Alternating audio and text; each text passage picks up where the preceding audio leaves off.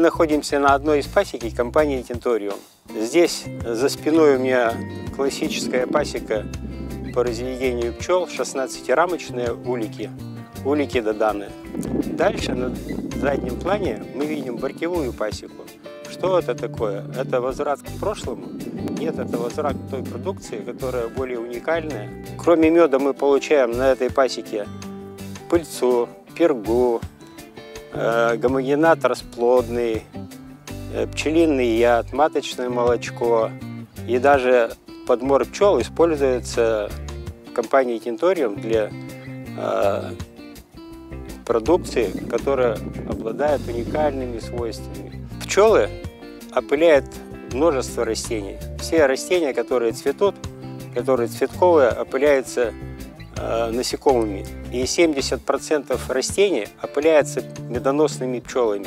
Для чего это нужно? Для того, чтобы повысить урожайность э, садовых растений, э, растений цветущих, это и сельхозугодья, которые опыляются пчелами.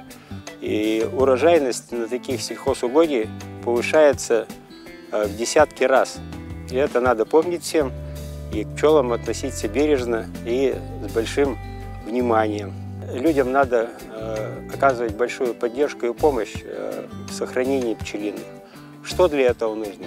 Сейчас май месяц, самое благоприятное время для высадки фруктовых деревьев. Это яблони, это вишни, кустарниковые растения, это смородина, это крыжовник.